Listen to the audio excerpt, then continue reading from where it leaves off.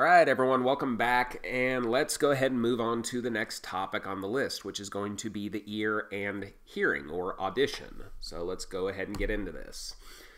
Uh, so something to a couple things to say before we really start hammering into uh, hearing and then vision after this. Uh, unlike what we've talked about so far with touch and taste and smell, the stimuli that we're about to talk about, in the case of vision, we're talking about photons of light, and with hearing, we're talking about vibrations in the air. These are unusual stimuli. I mean, you really have to kind of think and get creative to really kind of come up with a way to convert these types of stimuli into electrical signals that can be transmitted to the brain. And thankfully, throughout the course of evolution, that's exactly what has happened here.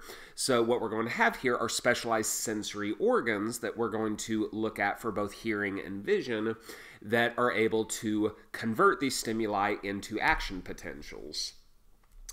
But the idea is the same as always. Once the stimulus leads to a significant enough receptor or graded potential, the action potential is going to travel to the thalamus in typical fashion through a particular cranial nerve. If it's the uh, if it's hearing and equilibrium, it will be through the vestibulocochlear nerve, and if it's vision, it's going to be through the optic nerve. So most of our discussions for both hearing in this video and vision on the next video, most of our discussions are mainly going to focus on how these very unusual stimuli are converted into receptor potentials. And then we shouldn't really have to say too much about the action potentials because uh, we can almost take that for granted, right? Okay, so let's talk a little bit about the anatomy of the ear. Now, typically for a physiology class, I like to keep anatomy to a bare minimum, but the unique architecture of the ear is so integral to how the physiology works in terms of giving an action potential, we kind of have to discuss it, right? Okay, so the ear can be split up into an outer ear, a middle ear, and an inner ear, right? So the outer ear its function is pretty simple, right? It frames our head and then physiologically speaking, it acts as kind of a sound wave funnel. It basically funnels sound waves into the uh, ear canal. So it's going to get the ball rolling towards getting those vibrating sound waves into the middle ear. So, what separates the outer ear from the middle ear is your eardrum, as you know it. So, the more uh, appropriate term is the tympanic membrane. So, what happens here is going to kind of set the bar for what's going to happen at every step along the way here. So, basically, what gives a sound its pitch is the frequency of the vibrations moving through the air. So, what we want to do here in order to accurately perceive what we're hearing in terms of the sound that we're hearing is we want to conserve that frequency. We want the frequency to always be the same at every step of the way. So, what we're essentially going to do here is we're going to start basically playing a game of hot potato, except instead of a potato, it's going to be vibrations. So basically, it's going to be one structure vibrating and then passing on its vibration to the next structure and then to the next structure and to the next structure. But all the while, we want the frequency of those vibrations to be the same at every single step. That way, the sound that we hear can actually be perceived the way that it actually is in reality. So the sound waves that are funneled into the tympanic membrane are going to strike the tympanic membrane and it is going to start oscillating at almost exactly the same uh, frequency as the sound. So on the other side of the tympanic membrane, so at this point the tympanic membrane is vibrating, uh, these are going to be our auditory ossicles. So three very, very, very small bony structures that are contained within the middle ear here. So uh, these uh, auditory ossicles are each connected to each other, and then the third of the ossicles, which is called the stapes, is then attached to the first anterior part of the inner ear. So basically, what these auditory ossicles are going to do is receive the vibrations from the tympanic membrane and then pass them on to structures of the inner ear. So, what's essentially going to happen here is that the tympanic membrane vibrates at a certain frequency. It passes its uh, vibration onto the malleus, and then it passes it on to the incus, and then finally to the stapes. So these vibrations are transmitted through these bony structures.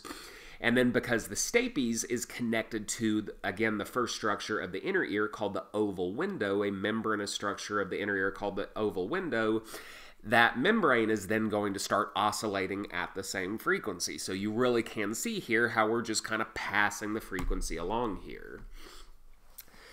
So at this point, looking at the inner ear, for hearing an audition, the part of the inner ear we're going to focus on is called the cochlea, this kind of snail-shaped structure that you see here. Uh, so most of the action in terms of signal transduction, taking those frequencies and actually turning it into an action potential, most of that action is going to happen here in the cochlea. All the outer and middle ear really we're serving to do is to get those vibrations delivered to the cochlea. So the cochlea that you can see here is separated from the middle ear by the oval window, which is just laying on the other side of that uh, uh, uh, uh stapes right there. So if we look at the cochlea here, we can see a couple of different cavities here. So in green here, this kind of light green, this lime green that you see here, are two continuous cavities that go all the way through the kind of winding uh, snail-like structure of the cochlea. Uh, right on the immediate side of the stapes is the scala vestibuli, and then if you kind of wind yourself all the way around, you'll eventually come to the scala tympani. Like I said, they're continuous with each other, but because they're kind of on opposite ends of the cochlea, we consider them to be kind of two different things. So the scala vestibuli and the scala tympani are located within what is sometimes called the bony labyrinth of the ear. So the cochlea is actually embedded within the temporal bone here of the cranium. So you can see all this bony structure around the cochlea here. So we tend to kind of think of this outer region that kind of forms the outermost barrier or uh, uh, structure of the vestibuli and the tympani, we call that the bony labyrinth because of its proximity to the temporal bone there. So, contained within the vestibuli and the tympani is a type of extracellular fluid called perilymph. There's not anything particularly interesting about the perilymph in terms of its composition, but what's going to happen is once that oval window absorbs the vibrations from the stapes, it is then going to displace or move the perilymph and it's going to start uh, kind of rippling and moving from the scale scala vestibuli. So we're basically going to kind of cause a ripple effect here in which this perilymph kind of moves throughout the cochlea and then kind of shifts towards the tympani and that shifting, that ripple effect, is going to displace another membranous structure called the round window. Now, these terms are a little bit confusing because I can't imagine coming up with two different terms that sound as similar as round window and oval window. So believe me, I'm sympathetic in terms of maybe it being a little bit hard to keep those two terms straight. But essentially what we're doing here is because the perilymph oscillates at the same vibration and, be and begins rippling, it places pressure on that round window there. And the round window is attached to a portion of this middlemost layer of the cochlea, which is kind of in a deeper blue greenish color there. That is called the scala media. So the scala media, which is contained within a structure called the membranous labyrinth. So you have the bony labyrinth here on the outside, and then the membranous labyrinth here on the inside that separates the vestibuli and the tympani from the media. Now, the extracellular fluid in the scala media, which is where all the action is going to occur, this extracellular fluid is called endolymph, as opposed to perilymph in the vestibuli and the tympani. Now, I said perilymph isn't particularly interesting in terms of its composition, but endolymph is. Endolymph is very unusual in that it has a very high concentration of potassium. Now, when you compare that to all the other types of extracellular fluid that we've talked about throughout the semester, why is that so unusual? Where do we usually find a lot of potassium? Yeah, we usually find most of our potassium in intracellular fluid. There's not usually a lot of potassium in the extracellular fluid. So let's talk about why this is going to be so interesting. Now, before we get to that, what I want you to notice here is that contained within the scala media is these little red things here that look like they're kind of sticking up on pikes. These are called hair cells. So altogether, these little hair cells make up a major structure in the scala media called the organ of Corti. So this is our sensory organ that allows us to hear. So these little hair cells, which are uh, on top of this structure called the uh, basilar membrane, when the round window is displaced, it pulls and shifts that basilar membrane, and that's going to kind of shift those hair cells back and forth within the scala media. Now, again, you'll notice these little hair cells have these little structures that are kind of sticking up. Well, what that's going to do is that shifting is going to cause those guys to kind of sway back and forth in the endolymph. So we'll get to that in just a minute. So let's focus on that endolymph itself and that it it's unusual in that it has a lot of potassium. So let's talk about why that's going to be important. So ordinarily, as we understand it, or as we understood it in the nervous system, or at least most parts of the nervous system, anytime we open a potassium channel, typically the result is going to be hyperpolarization of the target cell, right? Because of the low concentration of potassium in most extracellular fluids. This will cause an open potassium channel to cause potassium to leak out of the cell rather than enter the cell. So, as a consequence, the inside becomes less and less positive and more and more negative. Well, let's look at endolymph here. Well, endolymph, because there's a lot of potassium in the extracellular fluid, the concentration gradient is going to be pointed the opposite direction. So when you open a potassium channel this time, potassium will enter the cell and cause depolarization. So uh, that will get a cell, like a hair cell, excited and will get us closer to transmitting an action potential through the vestibulocochlear nerve. So the reason why you want to remember that endolymph has a lot of potassium is because you kind of have to think here because we're going to see that when these hair cells get displaced within the endolymph, that is going to lead to the opening of potassium channels. And what you've been trained to do so far is to think that when a potassium channel opens, that means hyperpolarization. But in this particular case, because of the unique composition of this endolymph, you have to think of it the other way. You're going to get depolarization here. So if we kind of take a, a recap here very briefly, when you hear something, you are hearing the vibrations in the air. The outer ear funnels those vibrations at a particular frequency to the uh, eardrum here, the tympanic membrane, it starts vibrating at the same frequency and it passes those vibrations along the auditory ossicles. Uh, the ossicles cause a uh, compression of the uh, oval window. Those uh, vibrations are passed along through the perilymph of the tympani and the vestibuli until we get to the round window here. The round window is connected to the basilar membrane of the uh, organ of Corti within the uh, scala media, and that is going to shift those hair cells with their little thingies stuck up, uh, kind of pointed up. Uh, we'll give those thingies a more appropriate name here in a minute. So that's going to kind of start shifting those back and forth within this high potassium endolymph here. So now let's take a little bit of a closer look at the cochlea here so we can kind of see what's going on. So, as we said, when the round window is displaced by the vibrations of the perilymph and the tympani, this shifts around the basilar membrane. And on top of the basilar membrane is the organs of Corti, which is our sensory organs for hearing. So, you can actually see one of these within a cross section of the cochlea. So, this inner uh, cavity here is the scala media. then you've got the vestibuli here and the tympani down here. So there's perilymph in these two right here, and there's endolymph in here. Here's that basilar membrane that's getting shifted, around, shifted around by the compression on the oval window, or excuse me, the round window.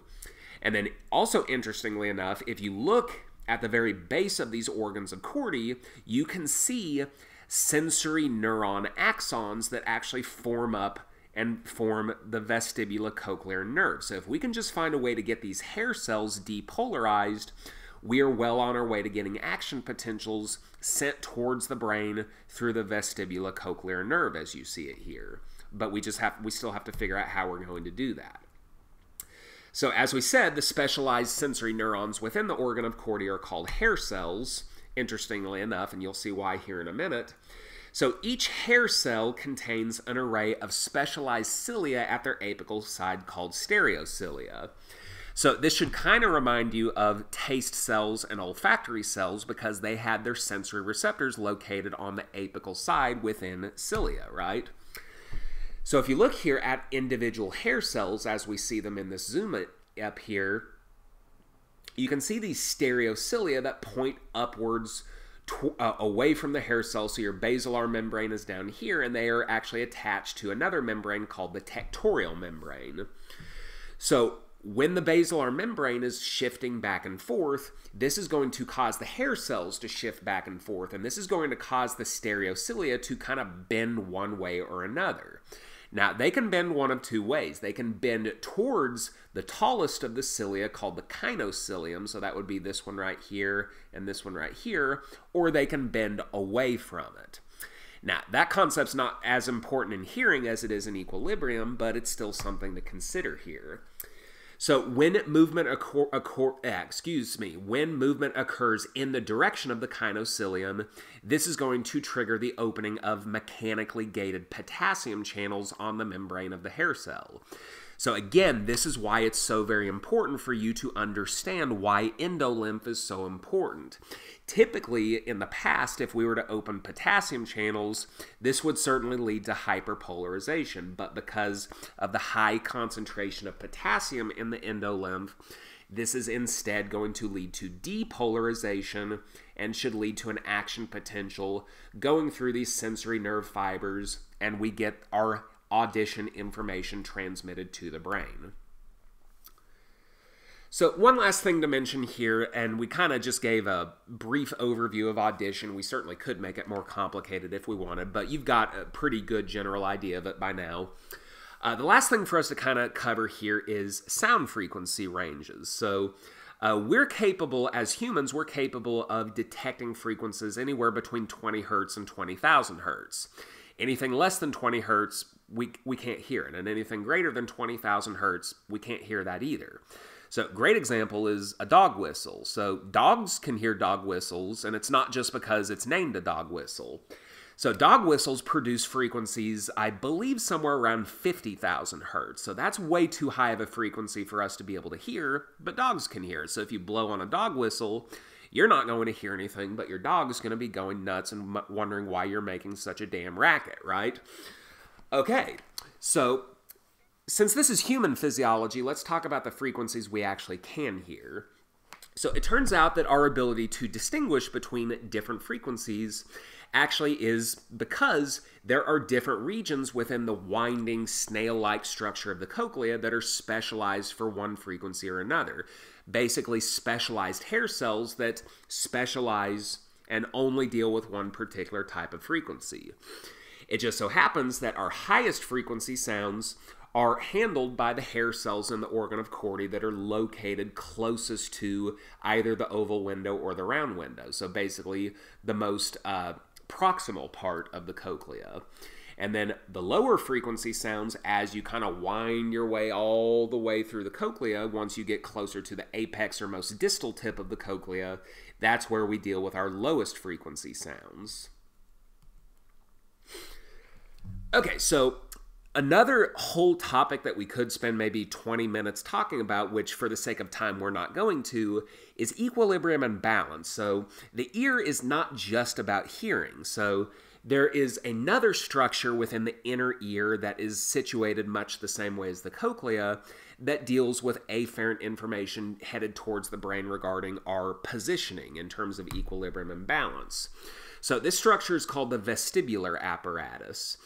So the nice thing here is that you're not missing out on too terribly much from us not really discussing it because honestly, it's really going to operate very much the same way as the cochlea did for hearing.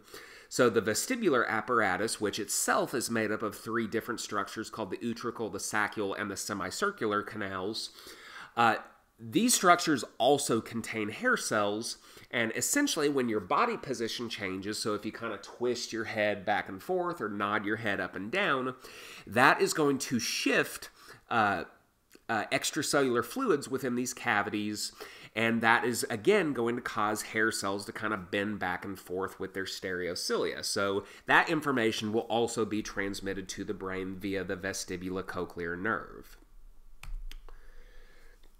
All right, so that is going to do it for our discussion on hearing. So, one thing I should mention to you is that Uh, this video on hearing and audition and previous videos were recorded in the summer of 2020. What we have caught up to now is the point in the semester of the spring of 2020 in which I had to start recording videos because of the COVID 19 outbreak. So those videos were recorded in the spring of 2020, and that includes our next uh, discussion on the eye and vision. So what you may hear is you may hear me say things that are more appropriate for events that happened in April or May of 2020, and they may not apply to you. So, uh, if you're not sure about anything, I encourage you to contact me. If I say something in one of these future videos that doesn't sound right, just contact me. It may have been something that I, I meant just for those spring of 2020 students. All right, so I hope you'll enjoy our next set of videos uh, on the eye and vision. It's a uh, favorite topic of mine because I actually studied the eye in graduate school. So I hope you'll look forward to it, and I will see you next time.